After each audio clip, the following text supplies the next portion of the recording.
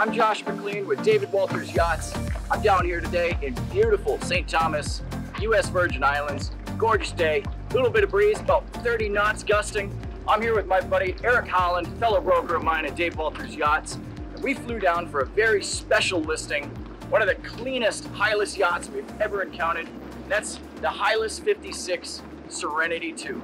Eric, can you tell us a little bit about it? Sure, thanks Josh, and welcome to St. Thomas, everybody. It's beautifully here today, a little bit of breeze, but we got a great boat. It's a 2018 Hylas 56. It's hull number 27. One of the last ones built by Queen Long Marine, and as you can see, she's in incredible condition. You've got a beautiful green Awlgrip paint job, varnished teak toe rail and grab rails, as well as a factory installed hard top bimini with solar panels. This boat's got a lot of systems down below we're going to show you today. A lot of great features. This is the best Hylas 56 you're to see out there. So let's hop aboard.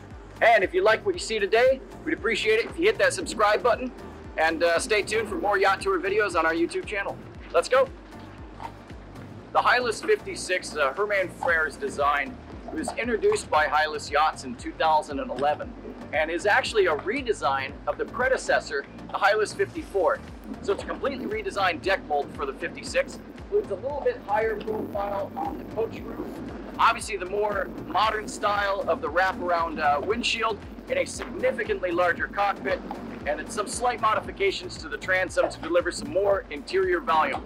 As we go through the boat, we'll, uh, we'll point out a couple other unique distinctions between the 56 and the 54. Looking at the deck of Serenity 2, there's a couple of uh, features here that are notable.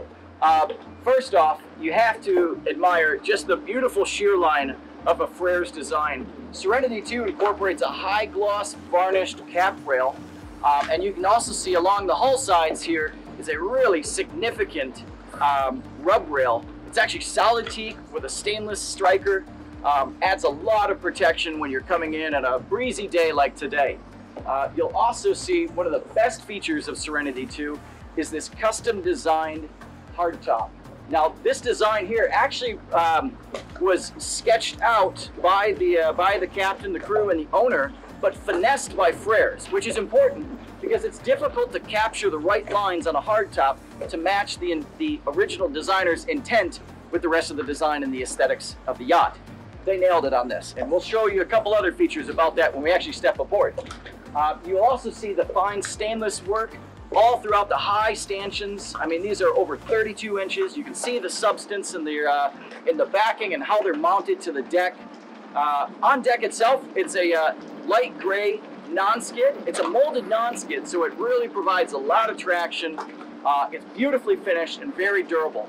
Um, on the foredeck here, we have varnished, uh, or varnished uh, handrails and then as we move aft on top of the coach roof, we have stainless as well. So a lot of grab rails throughout the deck, very easy, safe to move, maneuver about. So those are some of the uh, prominent exterior features and we'll step you aboard and show you some of the fine details.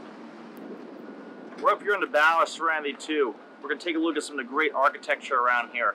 First things first, up forward we have a 55 kilogram stainless steel Rocna anchor. It's hooked up to half inch chain that goes back to this Maxwell stainless steel windlass. This is a great set that has incredible holding power and longevity.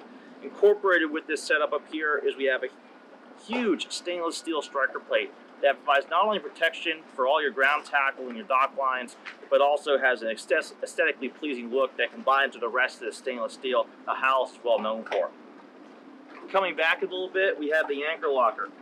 Now, in the anchor locker, this has two compartments. Up forward, we have the anchor chain itself, and then right here, we have another area that's just for storage of dock lines and fenders and all that sort of stuff. There's also freshwater and saltwater washdowns. We have locking dogs here, so when you're doing an offshore cruise, you can make this area watertight. We also have stainless steel struts that help hold the hatch open. And then coming back a little bit further, we have the sail locker. On the port side here, we'll see a cable master. Um, this is an added feature on this boat. So when you're nose into a dock, you don't have to have a huge power cord stretching all over the deck. So this is nice and easy to control from the bow here, and it's tucked in out of the way, so it still maintains a lot of the open storage space.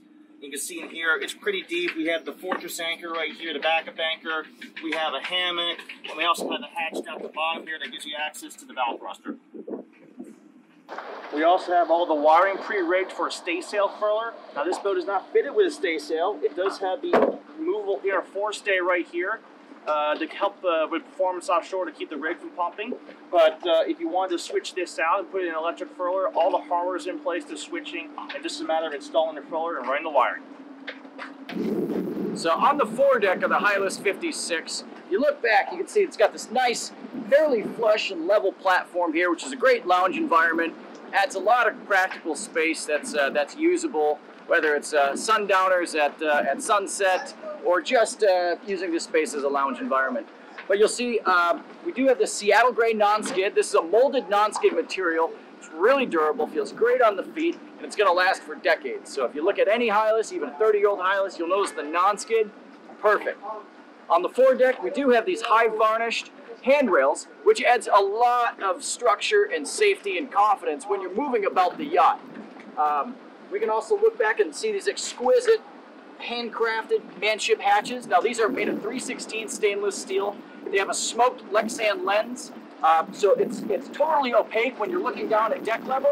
But when you're down below, there's a ton of natural light. These are forward opening, so you get a lot of great airflow, especially on a day like today. Uh, just chills down the entire boat. You get a nice breeze right through. Um, so a lot of space up here on the foredeck. Nice, wide, open, then as we move a little bit back on the, uh, on the side decks here, notice the height of these stanchions. Now these are one and a quarter inch 316 stainless steel. A lot of substantial backing here with backing plates incorporated under the deck.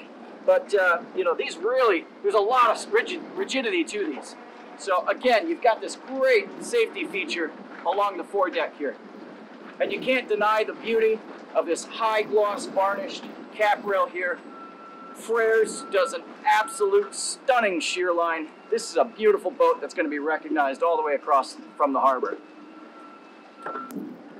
So we're here at the mast on Serenity 2. This is a Selden aluminum spar with an auger paint job, so it's got a beautiful look to it.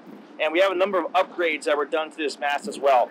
We have the stainless steel Andersen winches, another beautiful, pleasing look that matches the rest of the Andersen winches that are back in the cockpit. We have the Antal halyard tracks here with locks. This reduces the amount of extra uh, line you have up here on the rig when you're uh, not having to hoist the Genoa or the main. Uh, we have Doyle sails that were uh, provided by uh, Peter Grimm, who now works at North Sails, at our Hylas uh, preferred sailmaker.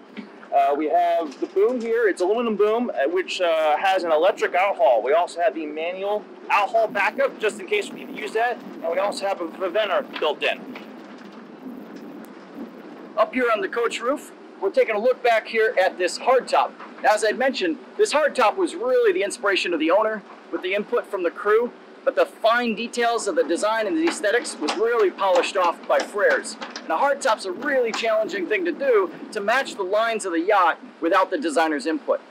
In addition to the great environment this provides inside the cockpit, makes a real, real desirable platform here for mounting solar panels.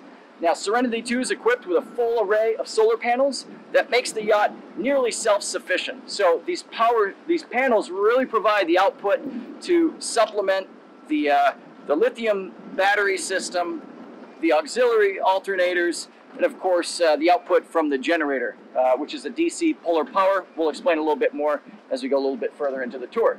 But really self-sufficient yacht, exquisitely done here with this Frers designed hardtop.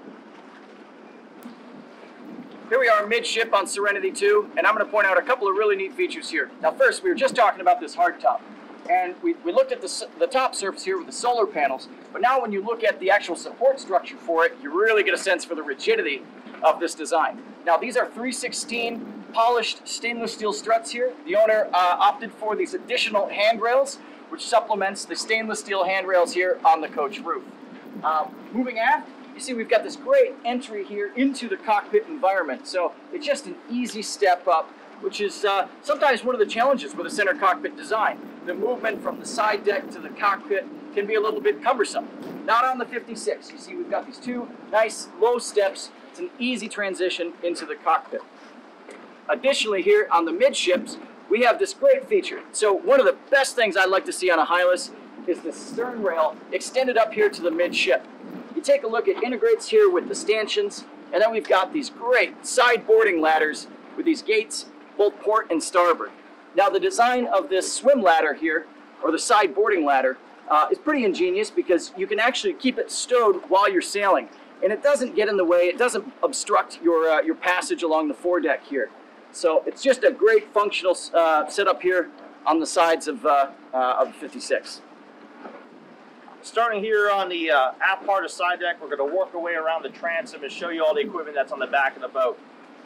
So right here, we have the propane locker. This is a large locker that has two 20-pound aluminum cylinders along with the, a double uh, regulator setup, and it's pre-plumbed up to the grill that's on the back of the boat.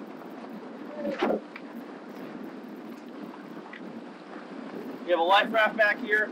This is certified through 2022. It's a quick release setup.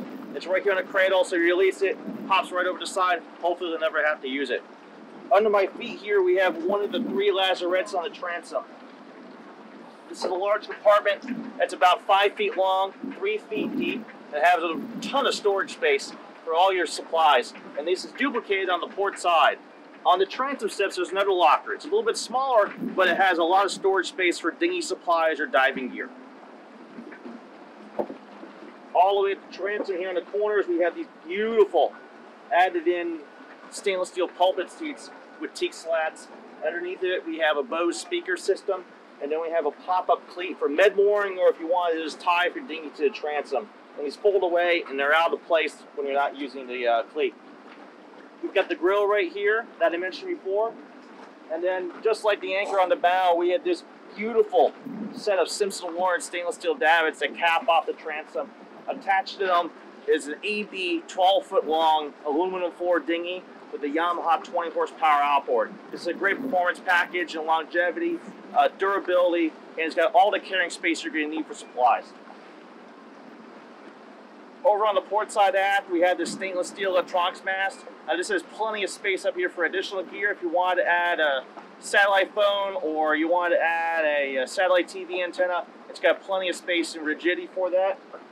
You got the other lazarette under me I mentioned before. This is the outboard engine holder right here. As you see, it's in beautiful condition. It's stainless steel with the varnished T-gloss base to it. And then we have our EPIRB right here in a quick release along with all your safety gear, SOS light, and uh, life ring buoy. One of the best features of this yacht, just like the Hylas 46 and the Hylas 54s at 56, has this beautiful step-down transom with these teak cords. It's really easy and secure to walk your way down. This will get you down to the dinghy when it's in the water. There's also a hideaway swim ladder in here that's all stainless steel. Under this hatch right here that pops up, We've got a great compartment that is uh, great space for diving gear and uh, or any kind of dinghy supplies, anything you'll need on the beach. We also have a transom shower right here with uh, hot and cold. So when you're coming out of the water, you can hose off before you step on deck. At the helm of Serenity 2, I'm going to point out a couple of unique features um, particular to this yacht uh, but also highlight a couple of the key differences between the predecessors to the 56, 54, and, and uh, this design here. As mentioned previously, one of the biggest design improvements from the 54 to the 56 is here in the cockpit. You have a lot more beam, a lot more length, uh, a very commodious but also nice and open cockpit environment. You're well protected from the environment with this wraparound uh, Dodger. Certainly love the, the feature of the hardtop. Um, you know, some may say on a boat this size, if you had the bimini top, starts to look like a covered wagon. With this, really improves the aesthetics, but also the functionality. Cockpit envir environment is bone dry. We do have these uh, isinglass panels, which install in channels throughout the hardtop and secure um, with lashings here to the coaming. Uh, from behind the helm station here, we have full control over our electronics suite.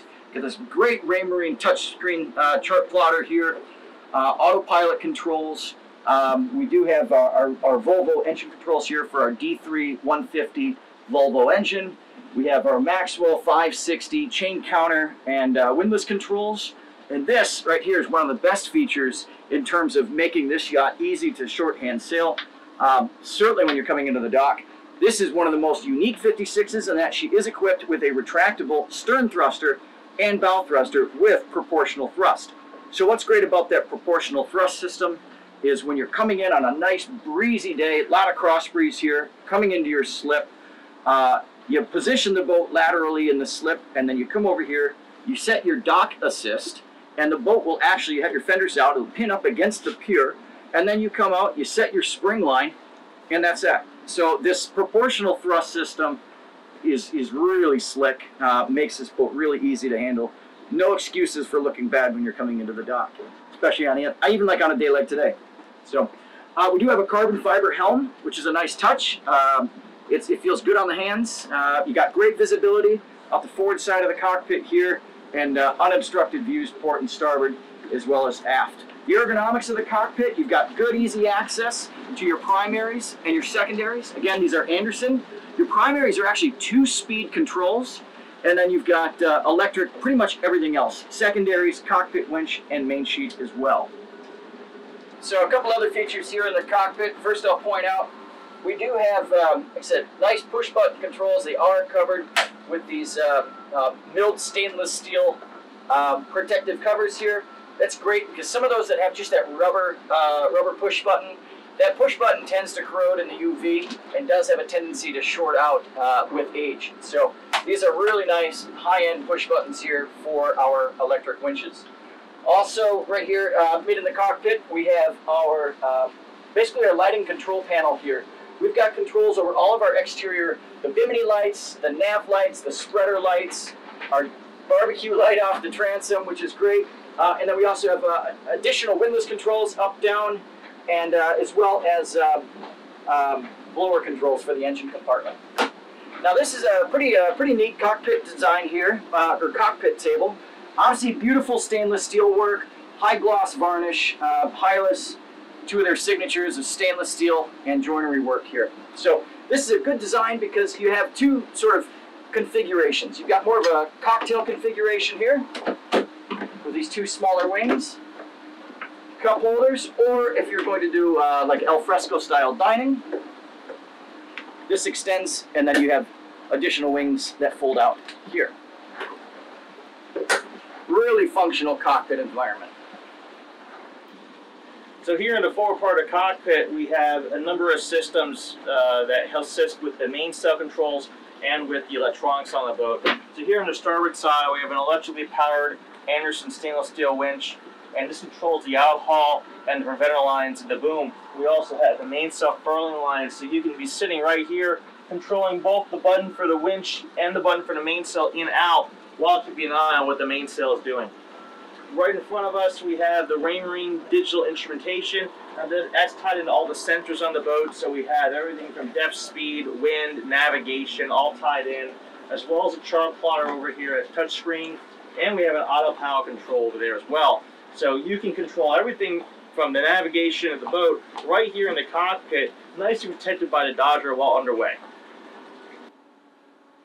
So we just took you through a tour up top and highlighted some of the really unique features um, that you see from the exterior.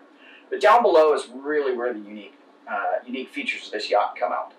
First off, uh, Serenity 2, as the name may imply, is the second Hylas that this owner has had constructed. Uh, so a lot of what you find throughout the interior has been incorporated in the, uh, in the final design of the yacht having been through and had the experience of going through the process once before. So you'll notice a lot of aesthetic details, some interior uh, specifications, certainly some equipment that only a knowledgeable uh, owner uh, would incorporate. So first off, what you'll notice is throughout the interior, you're looking at solid teak joinery. Um, a unique feature here is the fact that the owner had selected a high gloss varnish for the interior uh, as opposed to the more common satin. I think it really pops, uh, adds certainly an element of elegance to the aesthetics of the yacht, uh, and it just has this rich and luxurious feeling to it. Um, you'll notice a lot of fine details such as the louvered cabinetry, the burlwood um, salon table with the, uh, with the inlay, beautiful solid teak and holly cabin sole, quartz countertops throughout. Just a lot of really fine, luxurious touches um, that are uncommon in many yachts today. So we're going to take you through. We're going to start up at the bow and we'll work our way back through the main saloon, through the galley, the aft cabin, and we'll come up through the second passageway, which is another nice feature we'll, we'll show you in a minute. And then we'll conclude with the navigation station and show you the mechanicals of the yacht. So let's go take a look and head up forward. So we're going to take a step through here, through the forward passageway to the forward VIP stateroom. And uh, this being a three cabin boat, you have your large aft master stateroom, centerline island berth. Forward, you have your VIP stateroom, and then we have a guest cabin we'll show you in a minute. But this is truly a VIP stateroom. Uh, you can see it's uh, adorned with cabinetry outboard above the berth. Uh, we've got tall hanging lockers, port and starboard, plenty of storage with some additional drawers here uh, or cupboards below the berth. Um, in addition to what you see, some of the mechanicals that you'll find under the forward berth uh, include the bow thruster units as well as the, um, um, the, the water maker components. Um, so as we mentioned, this boat has a really unique lithium battery system, which we'll show you some of those components here in a moment. But we have uh, our electric furling unit and our vertical Maxwell 24 volt windlass. Those both share these uh, these two. Um, they're actually 12 volt batteries wired together to form 24 volts, uh, and those batteries are right under here, under the forward berth. There's actually pretty good access. This does flip up. This is a split mattress here, so it's easy to remove if you do need to access the, the mechanicals up forward. Um, it's, a, it's, it's super easy to get to. Um, these mattresses as well, there is a, uh, a nice innerspring mattress with a foam topper. Super comfortable berth. Uh, you better be careful because if your guests get too comfortable, they're liable not to leave. so, this is the VIP cabin. We'll take a look uh, into the guest cabin with Eric. So we're up here in the forward passageway. Josh just showed you the forward cabin, and we're going to start up here on the starboard side. This is the forward head. And there are two accesses. This is from the passageway. There's also a private access from the forward guest stateroom. So stepping in here, you can see that this is a fairly large compartment. I have great headroom. I'm six foot three, so there's plenty of space in here even for the tallest people. We have these beautiful Wally stone countertops here, and we have these great chrome-plated brass faucets and other accoutrements around. We have plenty of storage here behind these cabinets and the mirror uh, Jabsco Quiet Flush electric head. We have some valve access here. And you can see that the base pan here is fiberglass with drains as well. So this area, even if it does get wet, drains nicely into the shower sump. Over here, we can see the shower compartment that is uh, sealable off from the head itself. And we have a large amount of space. I can get in there completely. You can see how much space in here. I've got pretty broad shoulders, and I have plenty of room to move around. And we also have more storage out here for cleaning supplies. And we have a couple of opening ports as well as a deck hatch up here for more ventilation. Now coming back out of this compartment, across the passageway, we come to the third stateroom. Now this port side cabin is set up with two bunks. We have a single here, and we have a larger single down below. Hanging locker that's also convertible to shelves, multiple drawers, in the forward and the aft portions of the cabin, and we have much more storage here underneath the berth, as well as cabinetry above.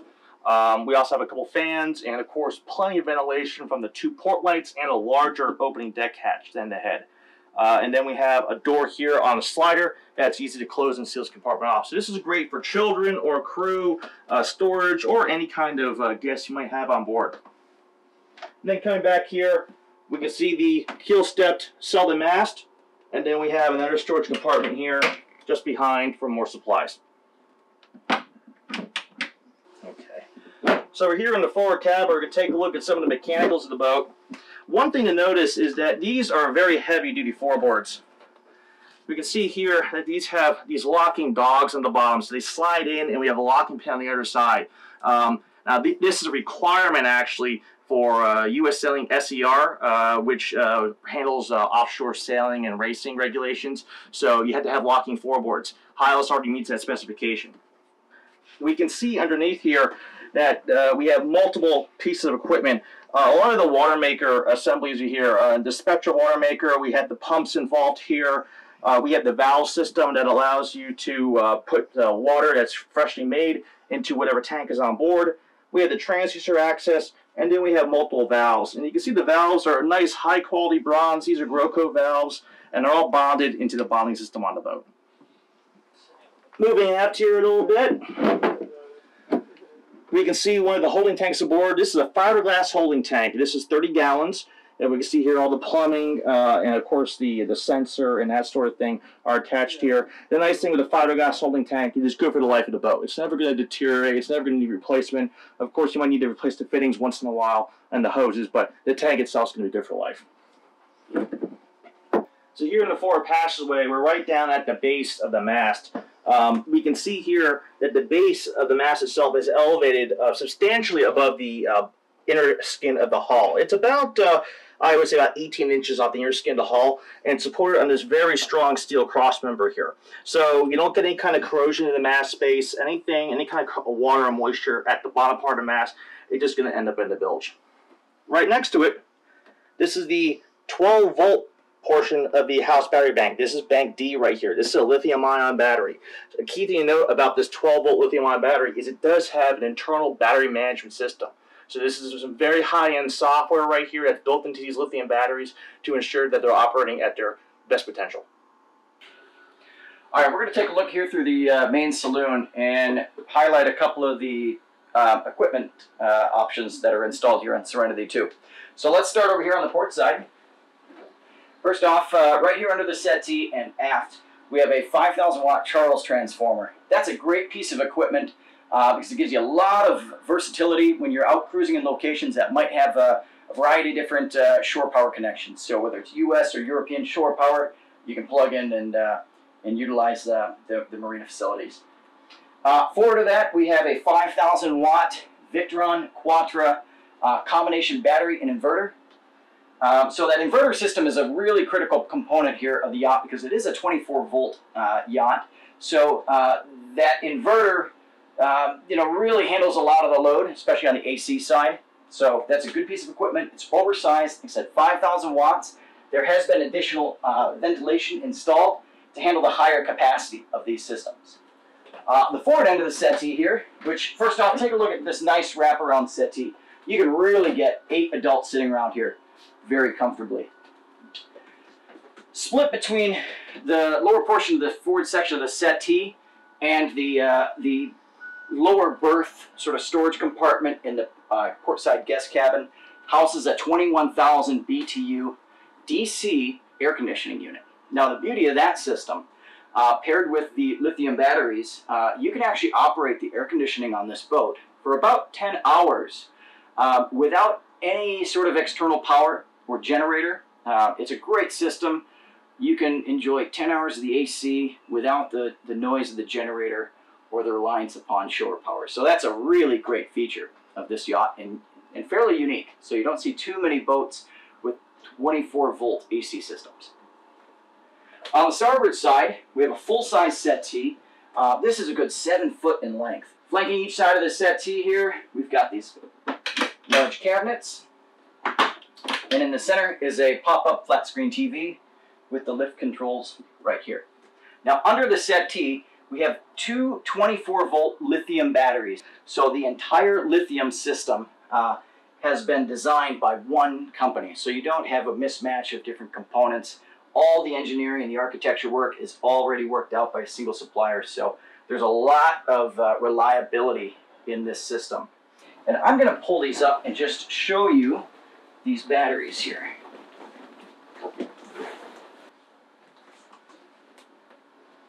First, I want to point out the battery management system. The 12 volt batteries actually have an internal BMS system. The 24 volt batteries, which we can see part of one here, and we'll pull up this next segment and show you the rest. But this is an external BMS system. And there's several of these for the 24 volt battery systems uh, throughout the yacht. All right, so we're going to take you through some of the uh, features here in the galley.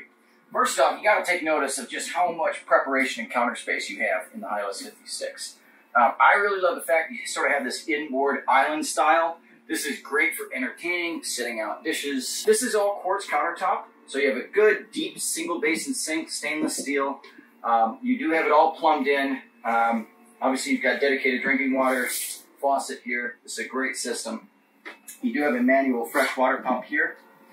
Um, in terms of cold storage, you got a lot of options here. So we do have four of these Vitrifrigo units. Now these are pull-out stainless steel drawers. They're set up uh, two for refrigeration, two for freezers. And you do have um, temperature controls as well. So you can change up the temperatures and utilize, let's say, three as a freezer, three as a refrigerator, one as a freezer if you so chose. Um, here we do have one of the best features here in the galley, a beverage chiller. Uh, now, the reason why this is such a nice feature to have, um, just from an efficiency standpoint, you know, one of the most common things people go and they dive into refrigerators for is to grab bottles of water or beverages. So every time you open that unit, you're losing that cold air.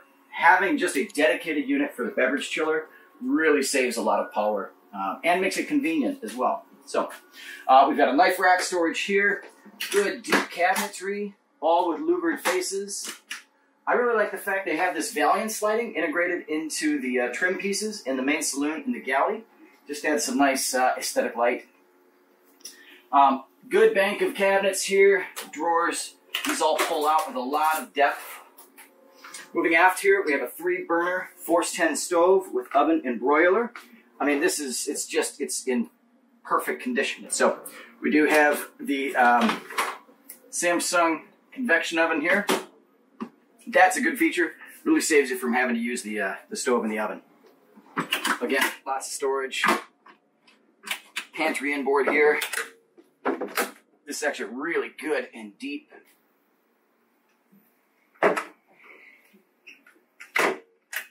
And then again, you can see you've got plenty, plenty of uh, preparation room. Um, I do like the nice tall fiddles here as well. It really adds, uh, it makes it nice and easy. Everywhere you reach and everywhere you uh, you grab, you've got a handhold. So you can imagine being in the galley while the yacht's underway. You've always got a good sturdy handhold to grasp onto. So um, also critical that you have good ventilation in your galley. You do have opening port lights both inboard into the cockpit and outward as well. So these are all high quality um, manship hatches. So it's a great feature to have, especially when you're cooking in the galley in the tropics. And then we'll come back into the uh, master stateroom. So the master stateroom, this is really, um, for many couples, this is your sanctuary. This is where you retreat to at the end of a long day, a long hard passage, or just some time to unwind. So this, uh, the way this whole yacht is trimmed out is just stunning. So again, the high gloss interior, you've got the teak trim all around the ceiling here with the nice white headliner. Uh, I will point out the fact that this headliner, the way it's actually engineered is pretty nice because it's all secured with Velcro here, but it's it's it's very very um, it's like industrial Velcro, so you can actually pop these panels down to access these uh, these lights or any of the interior wiring if you if you need to. Um, you can see here we've got a lot of good ventilation, lots of opening port lights here. That's one of the best parts right here about this aft cabin. It's just the views you get from right here on this berth. You see you got a lot of height here to this uh, aft berth that gives you some good storage here underneath. Uh, you've got a small settee here, and then you have a sort of a vanity style desktop here that opens up for the ladies. Uh, you do have his and hers hanging lockers, both port and starboard, and this is a deceptively large hanging locker here. So it's got a lot of depth to it. It's all cedar lined. And then the boat is set up here if you did choose to install a flat screen TV. All right, so continuing the tour now, we've gone to the back of the boat. Now we're going to work our way back into the nav station area through the aft stateroom. So this is a ensuite head here, and continuing in, we got the similar look as the forward head, a little bit smaller countertop, but it's actually deeper, so it's a little bit wider in here. We have the same electric flush head by Jabsco. We have a great mirror set up here with uh, some lighting, a vanity, and we have some more storage. All these cabinets open here for more access, and there's plenty of ventilation from the port lights here. Going a little bit further forward, we're here in a shower. Again, uh, this shower is a little bit larger than the forward head because it's a little bit deeper. And we also have back here more storage. And then on the opposite side, if I close this door here, and this door here, we have this mechanical access. Now, this mechanical access here uh, provides us uh, a lot of access to uh, the solar panel controls, the backside of the generator, and some of the um, uh, the vent loops here for the engine mechanical system. Now this is the optional pass-through here. You could have the nav station sealed off completely and have a complete desk here or this opening passage. So if you come down the companionway, you get your wet foul weather gear, it's easy to run right back here and dump it into the shower pan. Then up here, we've got the nav station. So this is a forward-facing nav station. It's quite comfortable, actually. It's a little bit cozy. And uh, we have right in front of us, we see a large Raymarine touchscreen chart plotter that's networked into the rest of the system aboard. We also have uh, the button controls here for this chart plotter. So if your hands are wet or if you're bouncing around, you can still control the screen here with these switches. Uh, we have a NMEA 2000 uh, network here, so you can see all the uh, tankage on board through this setup. So right here we have our water tankage, fuel tankage, and then continuing over, we have our Newport Spectra 1000 uh, water maker control panel. We have the Victron Energy control panel uh, with a digital control readout for that as well for the uh, lithium-ion batteries.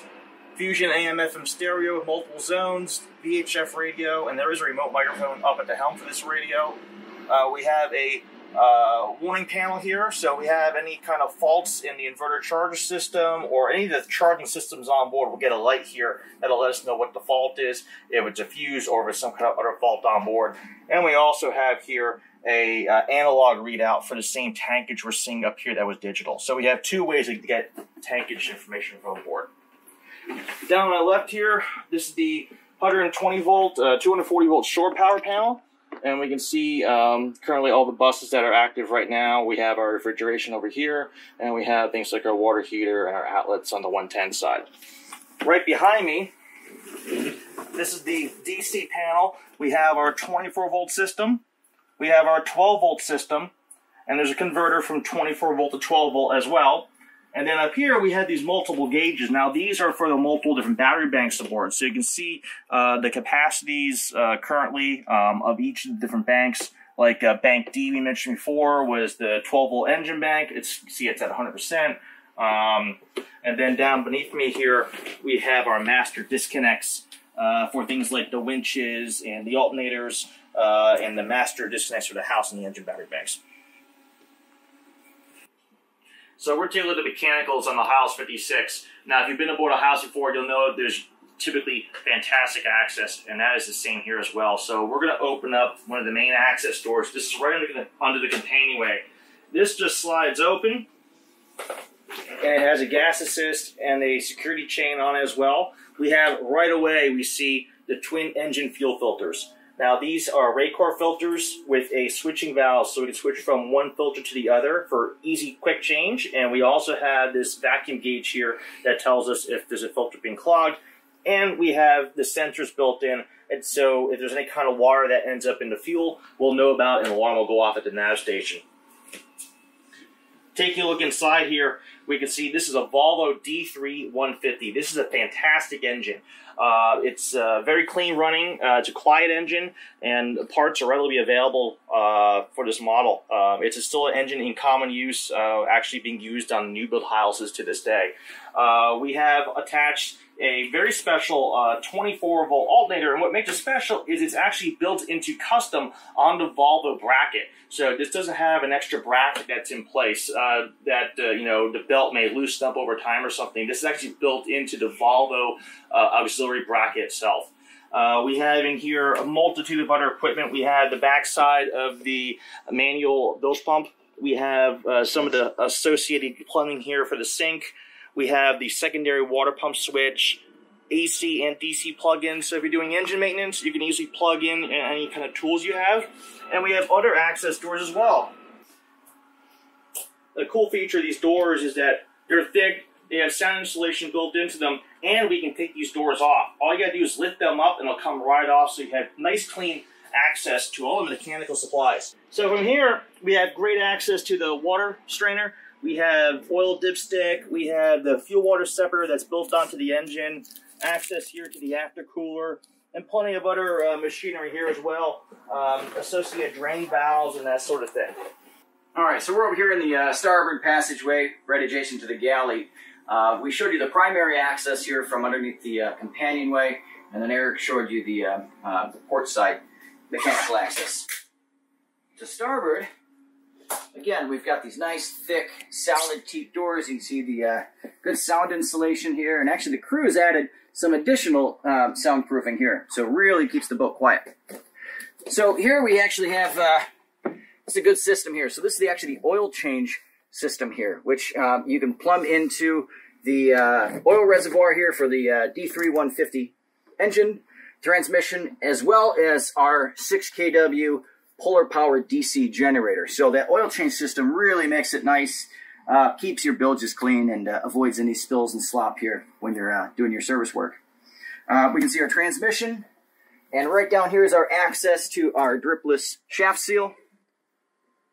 And we do have another access point a little further aft in the galley. This is going to be your primary service access for your polar power generator. What is nice about this setup is that this is also, this is a Volvo engine. Now this is a D130 Volvo engine, a pretty common engine actually in the maritime world. But the best part is because you have a Volvo primary engine, you're getting parts and components from a single supplier. So uh, just in terms of the maintenance program for the yacht, it really adds a lot of benefit to have only one supplier for your components. So good access here. We've got our oil filter. Here is our fuel strainer here, our, our um, intake strainer. We got easy access to our elbows. And here we can also see this is our Jefa um, solid torque tube steering system and our autopilot drive unit down here. Right, so a very key part of a blue water offshore boat is your bilge, your mechanical access, where all the dirty stuff's going to end up on the boat. And as you can see here on the Hylas 56, we've got a huge bilge. This is very deep. This goes down all the way to a special keel sump that's built into the bottom of the hull here. So we have all the water or any kind of moisture that collects will be right here in this sump area. And we have a total of three pumps. We have two electric and one manual pump plus a high water alarm. So you're always going to be able to get the water out of the boat. You can see the keel bolts. Now these are stainless steel keel bolts and a lead keel, so there's not going to be any kind of corrosion you can see if you normally have, like have a you know a, uh, a cast iron keel with carbon steel bolts. They'll corrode very quickly. These aren't going to corrode on you. They're going to look pristine for a very very long time. We can see all the mechanical stuff is mounted way above the bottom of the bilge. So for instance, here we have bilge pump. We have the air conditioning pump with its strainer and through hull at the back in the engine compartment. And then up here, we have our freshwater pumps, pump one and the backup pump. And then we have our gray water tank. And the gray water tank is very important because if you're in some uh, regions or countries that don't allow you to pump out gray water directly, it can go in this container and then you can pump it out later. And now uh, another key part, this is a trademarkable thing that Hylas does, is the dustpan. It sits right here in the hatch, and this little grate comes over it, so if you come down the steps and you're tracking out a little bit of dirt from outside, it falls in this pan. It's also nice and easy to be able to sweep stuff around and dump it outside later. I really want to thank you for joining us today on our tour of Serenity 2. As I mentioned, this is a really special yacht, one owner, always captain and crew kept since the beginning, uh, owned by a highly knowledgeable and experienced yachtsman, second new construction Hylas, equipped to the teeth, set up for cruising, lightly used, and in, I mean, truthfully, like new condition. So, um, if you have any questions about Serenity 2, you can always reach me. And again, my name is Josh McLean. My cell phone number is 616 204 9658. You can also find David Walters Yachts online at www.davidwaltersyachts.com. I do want to thank Erik today for coming through and uh, helping me today with this uh, yacht tour. Incredibly knowledgeable uh, yacht broker. Erik, if folks want to get in touch with you, how can they do so? Thanks, Josh, and thanks everyone for joining us today in St. Thomas. Uh, my name again is Erik Haaland, and I can be reached at 410-279-3027. And if you enjoyed the video, please hit subscribe today and check us out on Instagram as well. And if you have any questions, just give us a call, or if you'd like to see Serenity 2 in person, we're happy to come back down to St. Thomas and share it to you right here anytime.